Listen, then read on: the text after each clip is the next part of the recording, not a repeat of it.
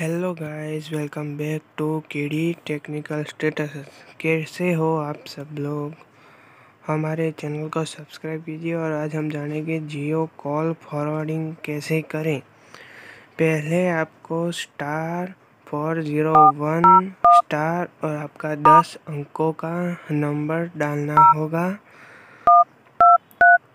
आपका दस अंकों का नंबर डालने के बाद आपको डायल करना होगा। डायल करते ही आपका जियो कॉल फॉरवर्डिंग एक्टिवेट हो जाएगा।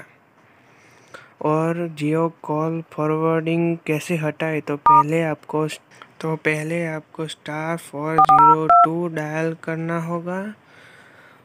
और डायल करते ही आपका जियो कॉल फॉरवर्डिंग हट जाएगा। अभी तक इतना ही। आगे दूसरे वीडियो देखने के लिए सब्सक्राइब करें केडी टेक्निकल स्टेटस। वीडियो देखने के लिए धन्यवाद।